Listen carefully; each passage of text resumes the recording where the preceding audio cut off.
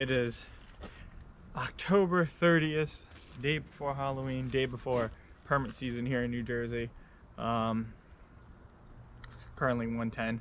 It just stopped raining maybe 30, 40 minutes ago. Um, I'm gonna head up to my spot and you know, there's a buck that I'm definitely after. He showed up the last couple days. Um, haven't given him a name yet, but um, I'll think about that when I'm in the stand and hopefully I can get him to come in and you know deer should be moving. So you know I'm hoping to put a, a, uh, buck on the ground and then start permit season here tomorrow in New Jersey. So I'll see you guys when when I get in the stand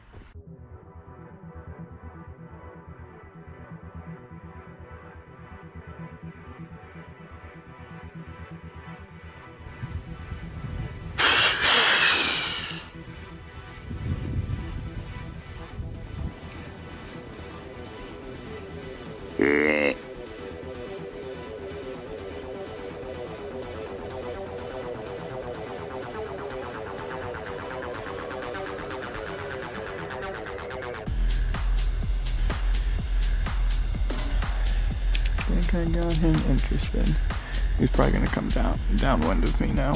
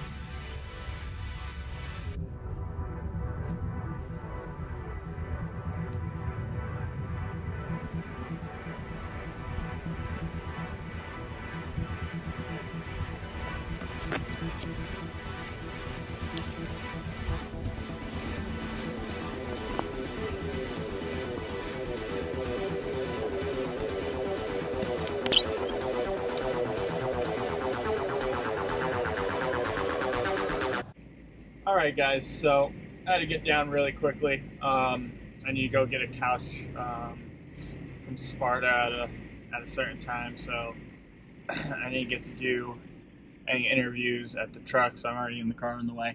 Um, what a hunt! Honestly, what a great hunt. Got into the stand um, and probably saw turkeys within the first 10 minutes.